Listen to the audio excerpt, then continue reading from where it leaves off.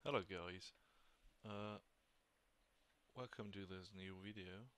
Today we're taking a look at the cooling performance of the Arctic Liquid Freezer 240 uh, which I've got installed in my computer and it is cooling the 9590 from AMD which is uh, I think the hottest CPU ever created uh, currently on the market which got a basic TDP of 220 watts uh, but I've got it overclocked.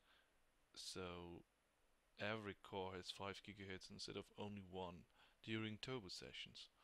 Uh, I've also overvoltaged it. So I increased the voltage to get those 5 gigahertz in each core. Um,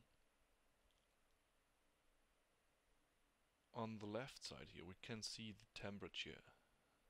I've got this already running for like 2 minutes, 3 minutes, and we're hovering about 65 C.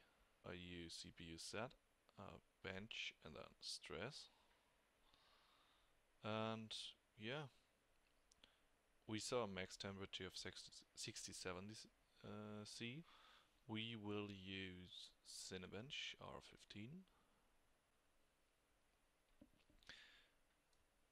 Note that the score in this benchmark won't be representative as I'm recording with the OBS and that program stresses the CPU already as you can see here. But we will take that as a uh, reproductive environment because it always puts the same load onto the CPU and uh, you can compare it to your own uh, rig. So we'll straight uh, use the multi-core performance test, which is this one. So we've got all cores loaded maximum, and we will see the highest temperatures probably. So let's go.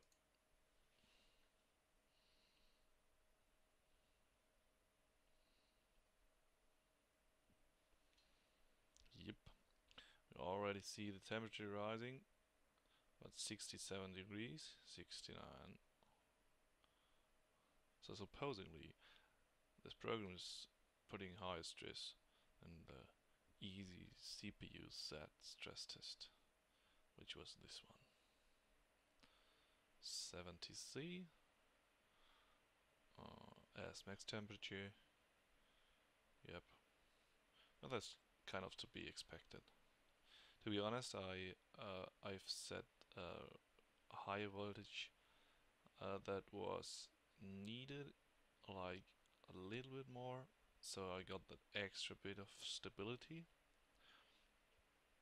Um, but I've also not got the golden chip. I can't OC like for up to 5.3 gigahertz as some some others could I only can get up to 5 gigahertz, no matter how much voltage I give it. Okay, so the score is completed. Like, you can take this as a multitasking score because, uh, yeah, OBS is running as you can see here. I'm for beginning. Okay, so there you have it.